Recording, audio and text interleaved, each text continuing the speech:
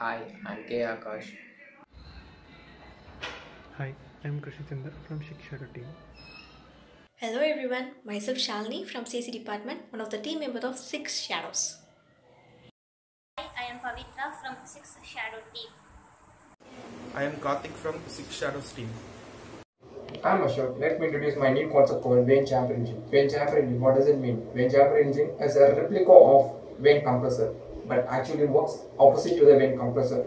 In vane chamber engine, instead of cylinders, we used vane. In vane chamber engine, the vanes are eccentrically placed and which compresses while rotating. The compression and expansion are uh, occurs at different uh, angles. For example, for example, if it is in six in uh, engine, the compression takes at 120 degree and expansion takes at 180, which means the compression is very much less than the expansion. So the overall efficiency of this engine is very high.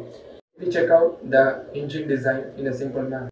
This is the conceptual of a vane chamber engine where the vanes are arranged radially along eccentric path.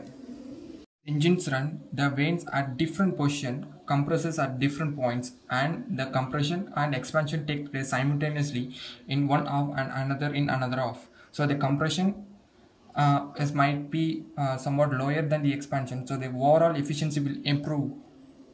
Launching this engine, it is, it is required to have a turbocharger so that the overall volumetric efficiency will also improve. Engine is precisely made it can give more power in a less space and have more fuel economy than any other engine. Thank you.